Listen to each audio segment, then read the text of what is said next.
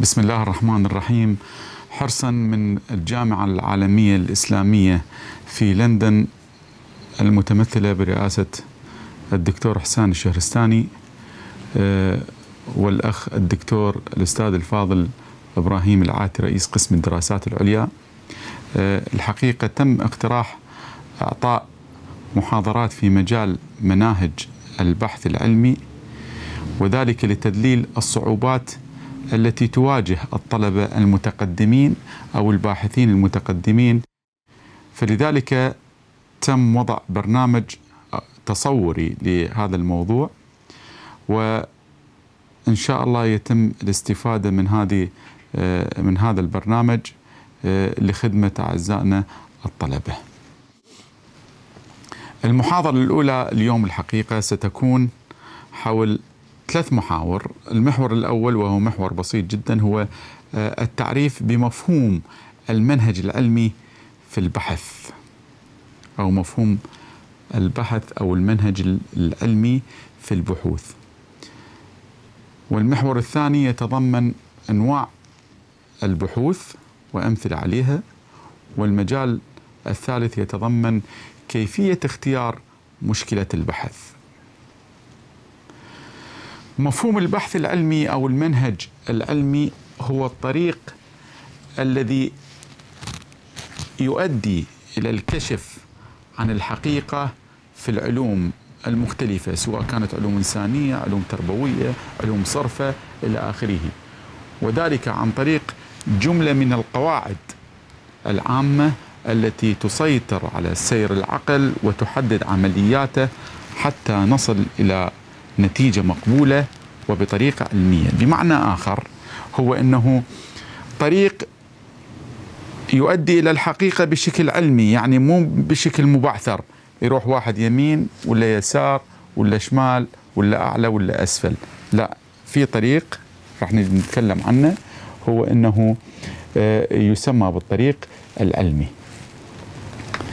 بالنسبة لأنواع البحوث الحقيقة الكتاب أو المتخصصين في هذا المجال اختلفوا حول أنواع البحوث وكيفية تصنيفها. ولحد الآن لا يوجد اتفاق حول أنواع البحوث فلذلك الآن الطالب أو الباحث من يروح يبحث أو يفتح كتاب للمؤلفه فلان أو كتاب مؤلفه فلان أو فلان حيلقي إنه في اختلاف بالتصنيفات لكن كلها تصب في مسار واحد. المهم في هذا المجال هو إنه التصنيف ليس مهما في حد ذاته إلا بقدر ما يخدم عمليات البحث وخطواته. كيف راح يتم عملية البحث في كل نوع من هذه الأنواع؟ لذلك الحقيقة سأبدأ أنا هنا بالتصنيف حسب ما يطلق عليه اولا التصنيف التقليدي. اذا أول شيء التصنيف التقليدي للبحوث وهذا الحقيقة يتم اذا اولا يتم تقسيم البحوث على أساس صلتها بالتفكير النظري أو العلمي كما يلي. أستطيع أن أوضحها هنا بالمخطط التالي. إذا راح تعمل مخطط يوضح لي الحقيقة أنواع البحوث. أقدر أقول أنواع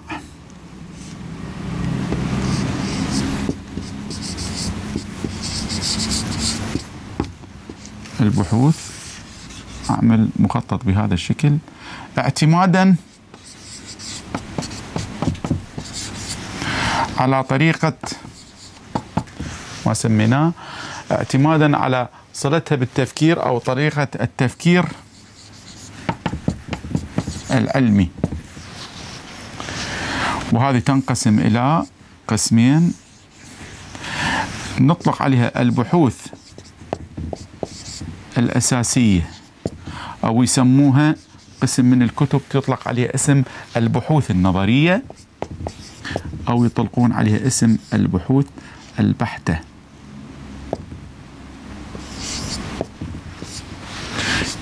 نطلق عليها بيسك ريسيرش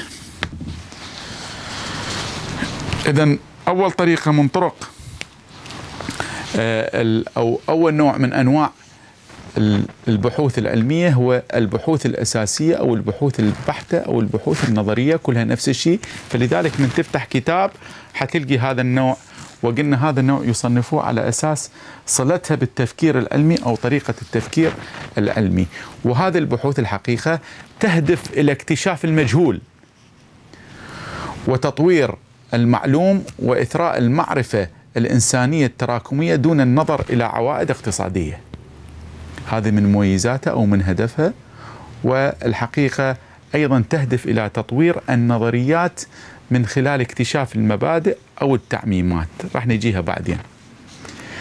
النوع الآخر من البحوث التي تقع في هذا النوع يسموها البحوث التطبيقية. Applied Research. البحوث التطبيقية.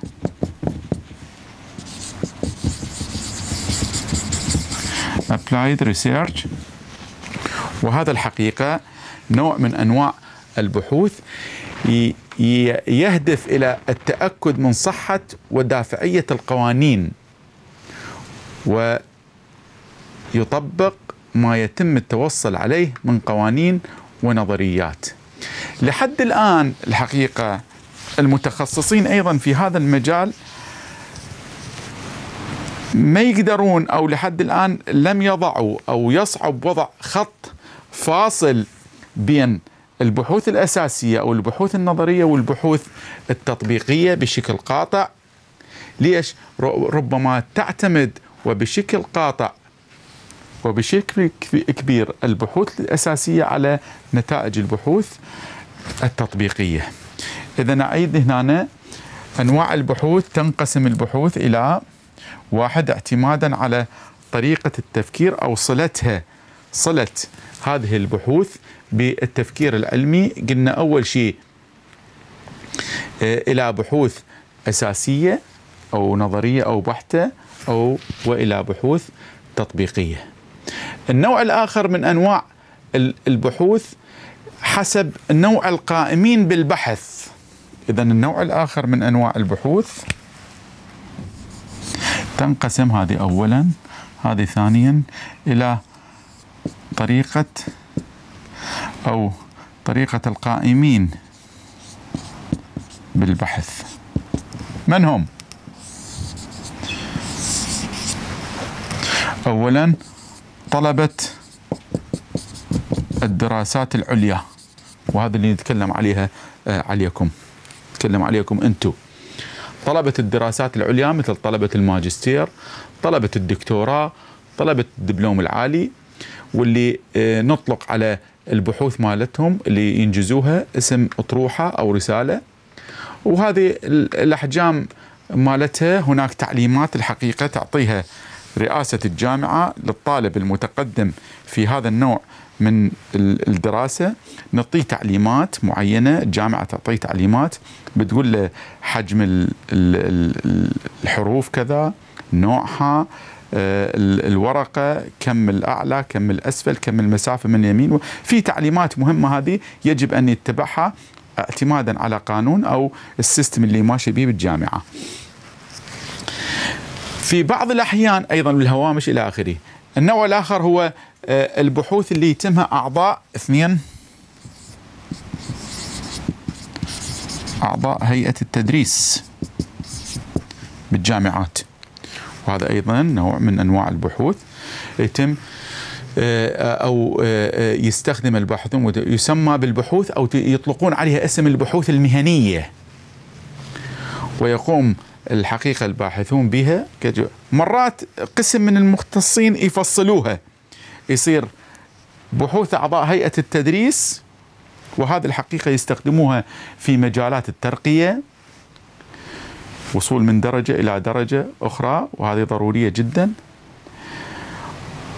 مرات يشركون يضيفون لها باحثين من خارج أعضاء هيئة التدريس. يعني مثلا مركز بحثي معين أو الحكومة مثلا تطرح أو مؤسسة معينة تطرح آه، عنوان لبحث معين وتقول لك مين يبحث وترصد إلى المبالغ المعينة وهكذا.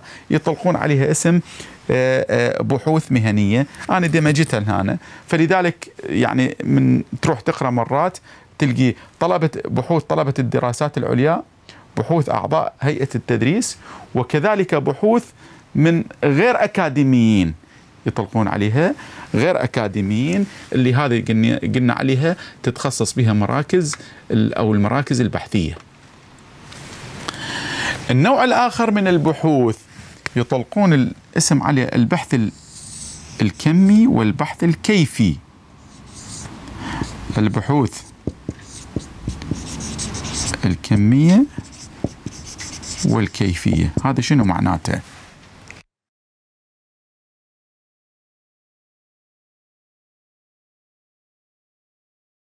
البحوث الكمية هذه إحنا مستخدميها بالحالات العادية بس ما نسميها كمية.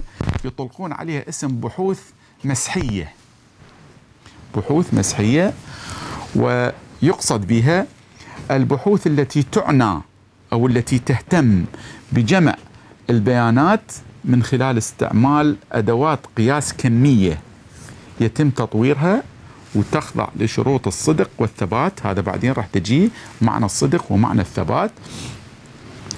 وتعالج بياناتها احصائيا في عندنا طرق للتحليل الإحصائي statistical analysis وبعدين تتم عملية تعميمها على المجتمع الأصلي. أعيد هذه نوع من البحوث يسموها البحوث كمية وبحوث كيفية.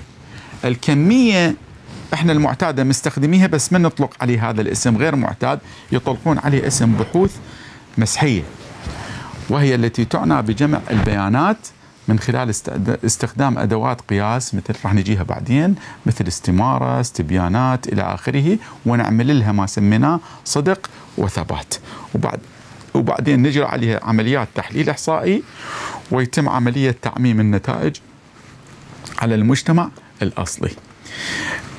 النوع المرادف إليه يسموه البحث الكيفي البحث الكيفي يعتمد على دراسة الظاهرة في ظروفها الطبيعية باعتبارها مصدر مباشر للبيانات.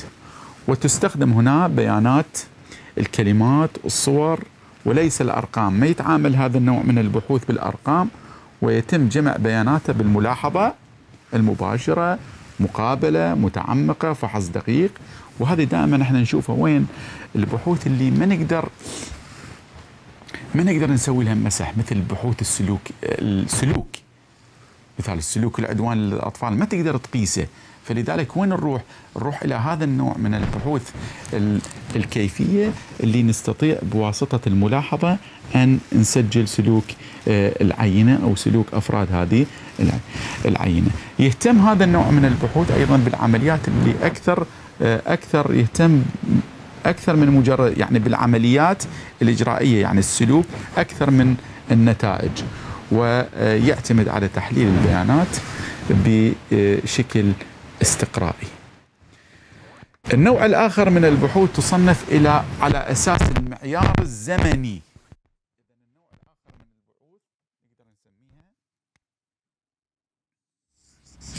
أربعة اعتمادا على المعيار الزمني. شنو معنى؟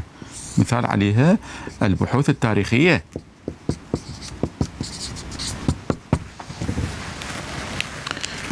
البحوث التاريخية الحقيقة ومن اسمها تاريخية تتعلق ببحوث الماضي. ويمكن من تحديد البدايات التي قامت أو قادت إلى الظروف الراهنة وهي تهيئ الطريق للبحث الوصفي. ومن ثم البحث التجريبي. إذا هذه مهمة جدا. هذا تعطينا كبداية لأن وين نروح؟ كبداية لأن نستخدمها في البحوث اللاحقة. مهمة جدا. تعطينا معلومات أو خلفية عن آه، آه، بحوث الماضي أو الظروف الماضية. من سلبيات هذا النوع من البحوث؟ البحوث التاريخية. صعوبة إثبات تفسيرات البيانات التاريخية بمجرد جمعها. من تجي تجمع معلومات تاريخية صعوبة إثباتها. هل هي صح ولا خطأ؟ إلى آخره. كما يصعب تحديد الأحداث الماضية لقلة المعلومات المتوفرة. في معلومات يعني مثلا عندنا حدث صار مثلا في زمن حمورابي. الآن من الصعوبة جدا أن نجمع أو نثبت في بعض المعلومات الأساسية. هل هذا فعلا صح؟ أو حدث ولا لا هل هذا؟ فلذلك نعتمد على معلومات بالماضي. كما يصعب تحديد الأحداث قلنا لقلة المعلومات كما يصعب تفسير الأحداث التاريخية بدلالة المواقف أو الأفراد أو التدليل على صحة افتراضات البحث. كما يصعب أيضا بناء علاقات سببية بين الماضي وبين الحاضر. هذه من سلبياتها أيضا آه، الحقيقة إذا تكلمنا على سلبيات هذا النوع من البحوث سميناها البحوث التاريخية إيجابيات هذا النوع من البحوث سهولة ووضوح تحديد بعض الحقائق.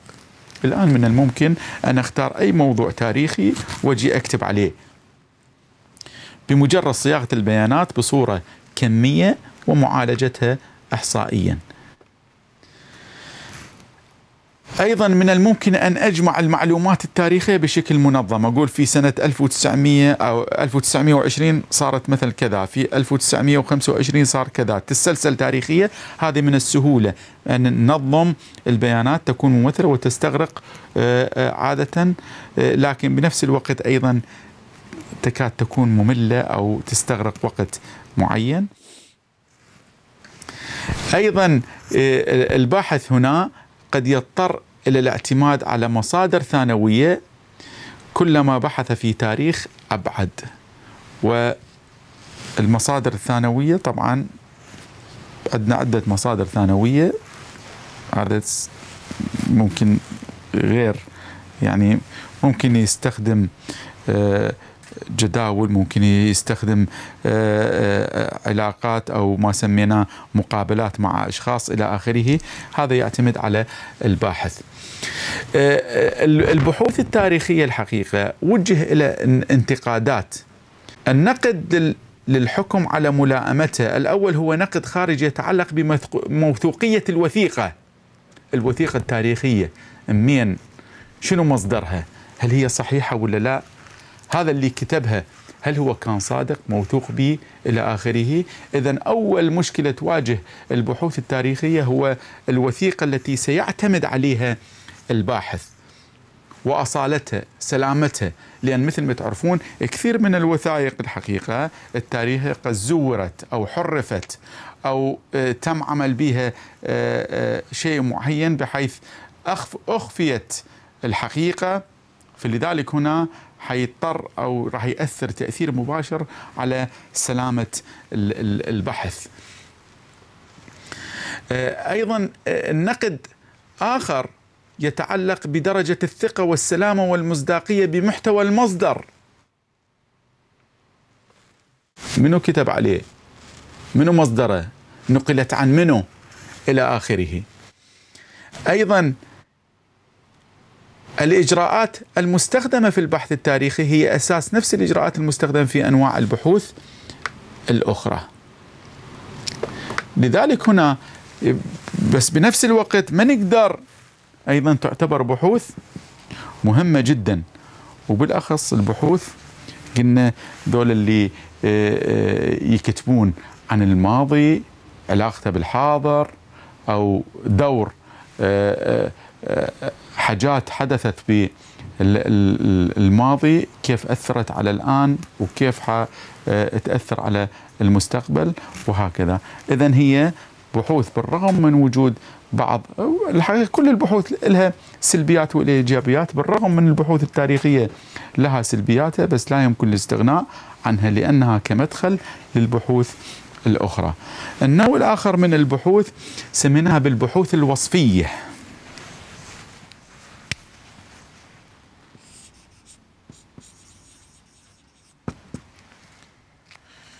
اذا لازلنا بالبحوث اعتمادا على المعيار الزمني. تكلمنا على البحث التاريخي. أرجع إلى البحوث الوصفية. تتعلق هذا النوع من البحوث بما هو كائن حاليا أو بما هو موجود حاليا ولكن لا يحكم على الواقع حكما قيما كونه جيدا أو رديء. وهو من أكثر أنواع البحوث استخداما إلا أنه يصعب أو يصعب إثبات العلاقة السببية. هنا أيضا كما في البحوث التاريخية. نفس المشكلة تواجه البحث الوصفي اللي واجهت البحوث آه، التاريخية. يعتمد البحث هنا في تفسير نتائجه بشكل كبير على زمن الدراسة وحجم العينة. يعني ممكن يعني يصير عندنا بحث ومن نجي نحلل نحلل خلال هاي الفترة الزمنية المعينة اللي تم بها البحث. يعني مثلا نقول راح نجي بعدين في عملية مثلا حدود البحث من نقول مثلا الحدود الزمنية العام الدراسي 2012-2013 إذا هذا يحدد هذا البحث الوصفي يحدد بهذه السنة اللي تم بها إجراء البحث. وهذا البحث الحقيقة هذا النوع من البحوث هو من أكثر بيانات مجرد بيانات ويجب على الباحث مناقشة البيانات والوصول إلى تفسير ملائم. وهنا الحقيقة مطلوب جدا من الباحث أنه في حالة الوصول إلى نتيجة معينة عن طريق هذا النوع من البحوث الوصفية عليه بالأخير أن يعطينا ما سميناه يعطينا تفسير لهذه النتائج التي حدثت. لأن ربما تفسير أو يعطينا نتائج غير متوقعة وغير معقولة فلذلك هنا يجب أن يعطينا تفسير يقنع به أو يقنعني أو يقنع به مثلا لجنة المناقشة أو يقنع به القارئ ليش توصل أو ليش طلعت عندنا هذه النوع من النتائج. آه، بالبحوث اللي سميناها هذه الوصفية أفراد العينة تتفاوت. إحنا ننصح الطلاب الباحثين كلما زيد عدد أفراد العينة بهذا النوع من البحوث كلما أفضل. اعطتنا مصداقية أكثر. حضرب مثال هنا. فمثلا العدد قليل تكون في دراسة الحالة. هاي يعتمد. في حين يكون العدد كبير جدا في الدراسات المسحية اللي هي نقول عليها والتي قد تصل إلى جميع أفراد المجتمع الأصلي. فمثال مثلا أجريت دراسة على جرائم الإنترنت في المجتمع السعودي مثلا. تفشت بالآونة الأخيرة بالمجتمع السعودي مجتمعات كثيرة وهذه موجودة بالصحف والمجلات. أنه جرائم الإنترنت وتأثيرها على آه، الأطفال تأثيرها على الشباب تأثيرها على الأسرة إلى آخره. الحقيقة آه، كانت عينة البحث ضد مثال كاملا بشكل كامل والذي وصل حجم حجمها في وقت الدراسة إلى 500 وسبعين ألف مستخدم. انظر هنا خمسمية وسبعين ألف فرد من أفراد العينة. وبذلك النتائج جاءت الحقيقة جاءت بها نوع من المصداقية. فلذلك هنا إحنا دائما ننصح الباحث بأن يزيد أفراد عينته بهذا النوع من أنواع البحوث اللي سميناها البحوث الوصفية. وهذه البحوث الوصفية تنقسم إلى البحوث المسحية. هذا الوصفية تنقسم إلى البحوث المسحية اللي قلنا عليها هسه قبل شوية أو البحث المسحي. أشهر أنواع البحوث. وهو يحاول تحليل واقع الحال للأفراد في منطقة معينة من أجل توجيه العمل في الوقت الحاضر وفي المستقبل القريب. يجب الاهتمام أو العناية أو التركيز في اختيار عينة مجتمع البحث في هذا النوع من البحوث وذلك الحقيقة لصعوبة ما سميناه التمثيل. فلذلك هنا يجب علينا أن نختار العينه بشكل دقيق وبشكل مركز. لازلنا في مجال البحوث الوصفية تكلمت على البحث المسحي البحوث سميناها تحليل المضمون. بحوث تحليل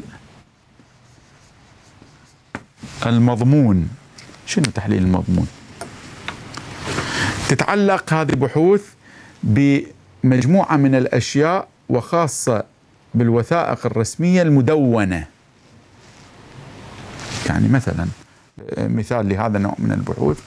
الحقيقة نقول مثلا السلوكيات الأخلاقية في مدونة كذا أو مثلا نقول آه، آه، آه، خلينا نجيب على مسلة مثلا مدونة مدونة فلان أو مسلة حمورابي إلى آخره. شنو هذول الباحثين مختصون؟ يعني معناته نحلل نحلل وثيقة أو نحلل مضمون أو نحلل رسالة أو نحلل قرار مثلا إلى آخره أو نحلل مثلا نظرية معينة هذا نطلق عليه اسم تحليل مضمون. عندنا نوع آخر يسموه تحليل عمل. طبعا بعدين حنطي أمثلة كثيرة لعناوين بحوث ونبدي نفصل. النوع الآخر من البحوث يسموه تحليل عمل. تحليل عمل. بحوث تحليل العمل. يهدف إلى وصف المهام المرتبطة بعمل ما. مثال ذلك مثلا نقول آه، دول مثلا اللي يهتمون في مجال علم النفس الصناعي. نقول مثلا الصعوبات التي تواجه مثلا العاملين العاملين في مصنع كذا إلى آخره. هذا جدا مهم. نحلل نعطي موضوع معين إلى آخره. اذا يركز هذا النوع في آه، آه، بحوث تحليل العمل. النوع الآخر من البحوث يسموه دراسات العلاقات. النوع الآخر لازلنا بالبحوث الوصفية اللي تعتمد على المعيار الزمني. سميناها دراسة العلاقات. دراسة العلاقات. وهذا الحقيقة النوع هو أفضل أنواع البحوث الوصفية وتنقسم إلى بحوث ارتباطية. وهذا الحقيقة إحنا أيضا نسوي ريكومند أو نوصي الطلاب باختيار هذا النوع من أنواع البحوث لأن لها علاقة راح نجيها بعدين بفرض الفروض تعطينا تعلم الباحث على كيف يحلل إلى آخره فيها ميزات راح تجيها بعدين أذكرها أذكرها.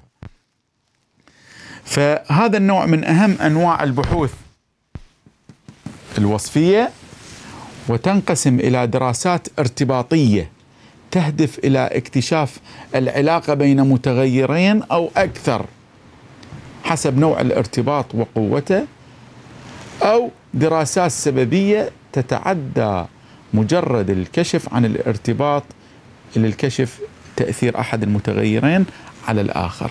مثال ذلك نقول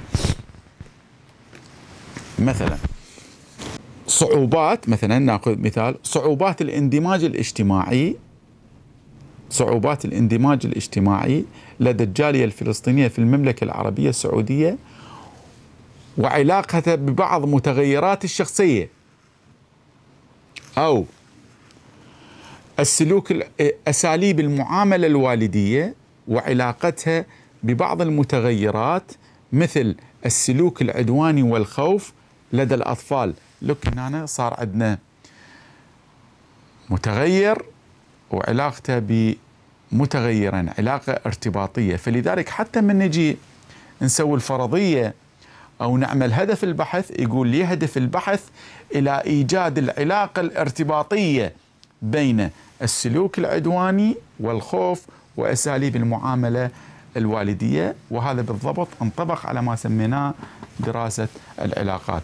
قد تكون هذا النوع من البحوث أو هذا النوع من الدراسات قلنا آه، آه، متغير ثابت أو تابع متغير مستقل واحد أو قد يكون اثنين مثل ما قلنا أساليب المعاملة الوالدية علاقتها بالسلوك العدواني والخوف صار عندنا متغيرين ويا متغير واحد. النوع الآخر من البحوث لازلنا بالبحوث حسب الاعتماد يسموها البحوث التطويرية. البحوث عفوا.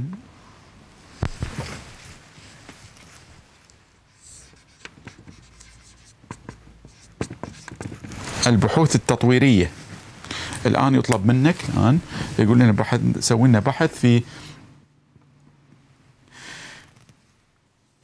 تطور معين أو بحث سميناه يتناول التغيرات التي تحدث في بعض المتغيرات نتيجة مرور زمن معين. صار عندنا تغير في مثلا التعليم الصحة. الآن لو نيجي نقارن مثلا الآن صار عندنا تغيرات جوهرية في مجال مثلا الأمن أو في مجال ما, ما سميناه أمور البيئة. بالعراق مثلا. تغيرات. فلذلك تطلب مثلا وزارة البيئة إجراء آه، آه، تغير آه، أو إجراء بحث في مجال إدارة البيئة. عمليات تطوير البيئة وهكذا. أمثلة كثيرة في هذا المجال. في عندنا النوع الآخر عندنا در... لا زلت أنا هنا في عندنا دراسة بحوث دراسات الحالة.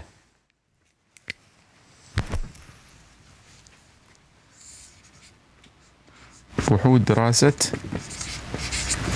الحالة. نوع من أنواع البحوث الوصفية. إذا لاحظ البحوث الوصفية تنقسم إلى مسحية تحليل مضمون تحليل عمل دراسات علاقات دراسات تطويرية ودراسة حالة. شنو معنى دراسة حالة؟ تتعلق بدراسة فرد أو عدد قليل من الأفراد أو الحالات المحددة. يعني مثلا أنطي مثال هنا. مثلا نقول السمات الشخصية للقائد. ذول اللي يدرسون في مجال علم النفس علم النفس الشخصية يدرسون مثلا السمات الشخصية لدى آه، آه، القائد الفلاني وهكذا. اذا دراسات حاليا ناخذ فرد أو ناخذ مجموعة من الأفراد السمات الشخصية للعاملين في كذا في وزارة النفط أو كذا إلى آخره. أو السمات الشخصية للمدراء أو رؤساء أقسام الوزارة الفلانية وهكذا. هذا يسموها دراسة حالة. النوع الأخير لازم نرجع إلى هذا انتهت بالنسبة للبحوث الوصفية. النوع الآخر من البحوث هو يسموها والمهمة جدا هي البحوث التجريبية. هذه أفضل أنواع البحوث البحوث التجريبية.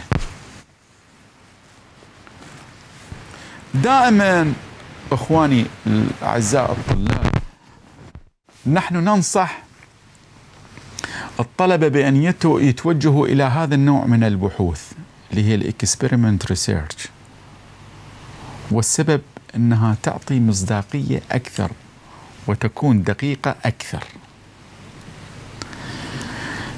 لكن الباحثين الحقيقة يبتعدون على هذا من ها على من هذا النوع من البحوث والسبب الحقيقة لأسباب. معاهم حق بس الحقيقة كل ما ياخذ هذا البحث كل ما تكون مصداقيته أكثر. حتى من يجي يناقش نقول لا أنت تعبت وأنت أخذت أصعب أنواع البحوث. هذه البحوث تتعلق بمعرفة ما يمكن أن يكون عند ضبط عوامل معينة. يعني هنا الحقيقة ليش هو وين تكمن صعوبته؟ صعوبة هذا النوع من البحوث تكمن في إنه هناك بعض العوامل صعوبة ضبطها في هذا النوع من أنواع البحوث. أفضل طريقة لحل المشكلات التربوية والمشكلات العلمية باستخدام هذا النوع من البحوث يتميز بقيام الباحث بدور فاعل في الموقف البحثي اذا أول خطوة من صعوباته هو أنه يجب أن يتم ضبط التجربة من قبل الباحث نفسه. وهذا الحقيقة تعتمد على خبرة الباحث كيف يتعامل مع المشكلة كيف يتعامل مع الموقف إلى آخره. فلذلك شو يسوون؟ يبتعدون الباحثين في هذا المجال من هذا النوع. هذا أول سبب. وهذا الحقيقة يهدف النوع هذا النوع من أنواع البحوث إلى إيجاد علاقة سببية بين المتغيرات من خلال تصميم الموقف التجريبي. تتم عملية جمع البيانات على أساس مجموعة محددة محكمات تعالج أو تشمل معالجة معينة إلى آخره. كذلك هناك عملية ضبط. ضبط شنو؟ عندنا ضبط أول شيء القائم بالتجربة. يعني الآن أنت يا باحث إذا أخذت موضوع مثلا خلينا نقول بالمناسبة كل بحوث الأثر التي تبدأ بكلمة أثر هي بحوث تجريبية. فخلي بالك يا باحث إذا أخذت موضوع اسمه مثلا أثر استخدام طريقة التعليم المبرمج على تحصيل طلبة الصف الثالث المتوسط بمادة العلوم مثلا أو بمادة التاريخ. إذا بس قلت أثر هذه هنا تحولنا إلى بحث تجريبي ممتاز. وين الصعوبة تكمن؟ تكمن الصعوبة أنت لازم أول شيء تدرس بنفسك عشان تضبط عامل المدرس. وهذا قلنا. فإذا كان عندك خبرة في هذا المجال توكل على الله. في بعض الأحيان نبتعد عن هذا ننطي إلى مدرس يدرس المجموعتين. وهذا أيضا صعب. في بعض الأحيان تواجهنا مشكلة أيضا هنا إحنا قلنا من مشاكله هو ضبط المتغيرات. إنه العينة العينة من؟ شلون حتختارها؟ تختارها عشوائيا؟ راح نجي بعدين كيفية اختيار العينة وانواعها عشوائيا؟ العمر الأعمار مال الطلاب يجب يكون تصف المجموعة الضابطة نفس أعمار المجموعة التجريبية وهكذا. فلذلك هنا توجد عندنا صعوبة. بالرغم من هذه الصعوبات يمكن أن يقوم الباحث بتدليلها ويروح إلى هذا النوع من البحوث لأنها مهمة وتعطي مصداقية. العينه اللي اختيارها عشوائيا هنا هذه أهم شيء تختلف بشكل تام عن البحوث الأخرى وهذا ما يكمن أو ما سميناه آه، آه، السبب الذي يؤدي إلى أن نتقبل هذا النوع من البحوث ونشجع عليه. إلى هنا آه، اني أنهيت أنواع البحوث لكن فقط أريد أركز على نقطة جدا مهمة. في بعض الأحيان وأنت تقلب كتب مناهج البحث وأنواع البحوث حتلقي الحقيقة أنواع أو مسميات أخرى لبحوث أخرى. من هذه البحوث قد يسموها بحوث ريادية. في عندنا نوع من أنواع البحوث يسموها بالبحوث الرياديه التي تهتم ما سميناه باكتشاف شيء جدا مهم مثال ذلك اكتشاف البنسلين أو اكتشاف الأشعة السينية. هاي تدخل ضمن بحوث صحيح بحوث إنسانية وعلمية مهمة لكن مرات يطلقون عليها اسم بحوث رياديه في بعض الأحيان يقسمون أو ينطونا مصطلح يسموه بحوث وثائقيه وهكذا تعتمد على المنهج المستخدم وهذه هنا يستخدمون مثلا التلفزيون يستخدمون الفهارس يستخدمون الأطالس يستخدمون إلى آخره فلذلك هنا لا تستغرب إذا في مثلا أنت تبحث وما تلقي هذا النوع من أنواع البحوث أو تلقي مثلا بحوث أو مسميات أخرى ما عندنا أي مشكلة في هذا المجال. اذا بهذا يكون أني قد سلطت ولو بشكل بسيط على أنواع البحوث وكيفية تقسيمها. أنتقل إلى أنتقل إلى فالآن أنت عليك يا باحث شو تسوي؟ الآن من تجي راح تجي الموضوع الآخر كيفية اختيار المشكلة الآن أنت شو تسوي؟ الآن تخلي أمامك هذه أنواع البحوث وتخلي نقاط القوة والضعف لكل بحث أمامك وتبدي الآن من تجي تختار مشكلتك أو مشكلة البحث مالتك يجب أن تأخذ بنظر الاعتبار آه، آه، هذا النوع من آه، البحوث. انتقل إلى ما سميناه اختيار مشكلة البحث. كيف تختار مشكلة البحث؟ كل الطلبة الحقيقة من الخبرة اللي البسيطة اللي أمتلكها معظم الطلبة بل مو كلهم معظم الطلبة الحقيقة اللي يجون ويقدمون لنا مشاريع بحثية أو مشروع بحث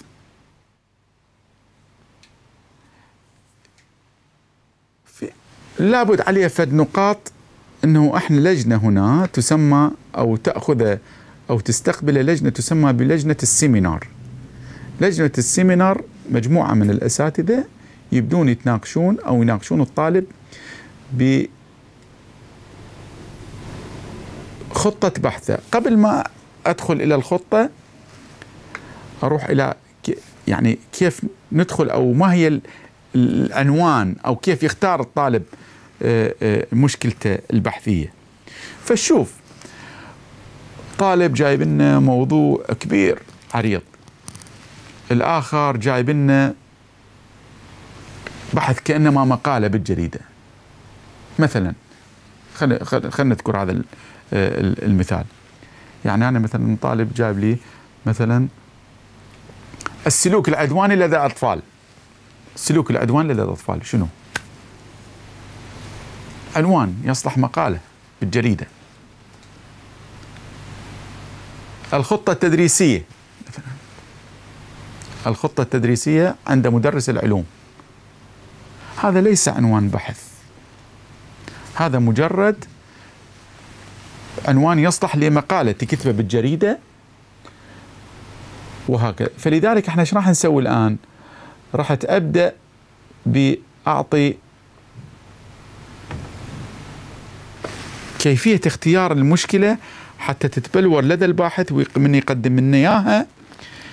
يقدم لنا بشكل مقنع. يستطيع أو تستطيع لجنة السيمينار أن تأخذ بنظر الاعتبار هذا العنوان وتقبله كمشروع بحثي.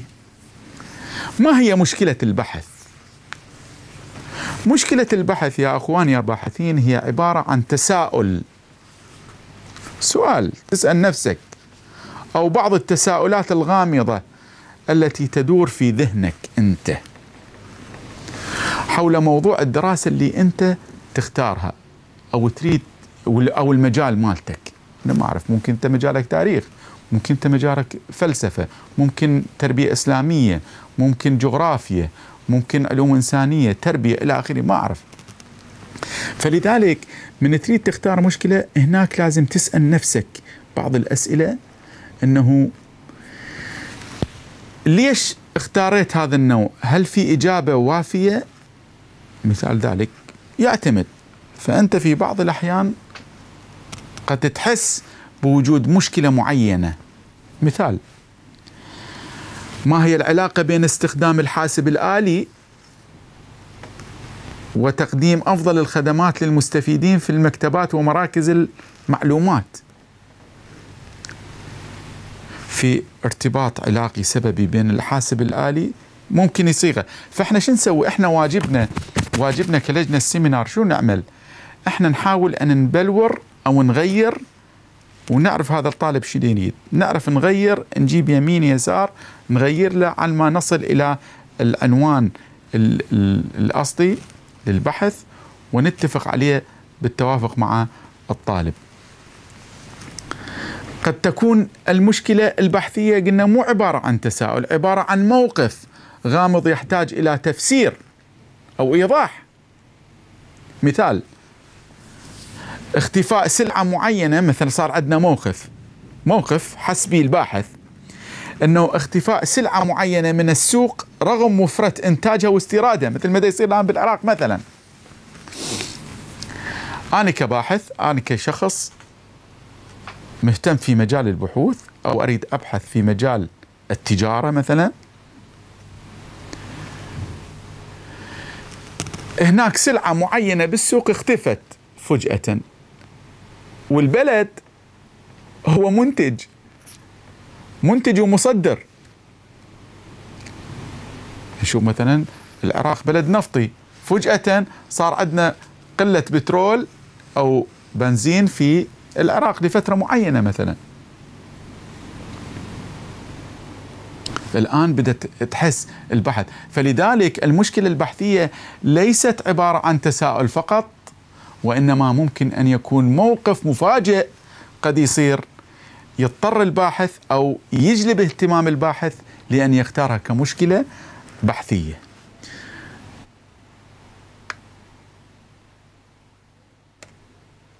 ما هي مصادر الحصول على المشكلة؟ ترى خلي بالك يا باحث هي الحقيقة مو فقط إنه أنت تختار مشكلة بحثية ونقول لك على آه، ممتاز هذه تستحق الدراسة لكن بعدين من تجي تبحث عن مصادرها ما تحصل ما في مصادر ما أذكرها اني آه، لهنا أتوقف. المحاضرة الجاية ح آه، أتوصل أو أبدأ أدخل في مجال مصادر الحصول على المشكلة. شكرا جزيلا.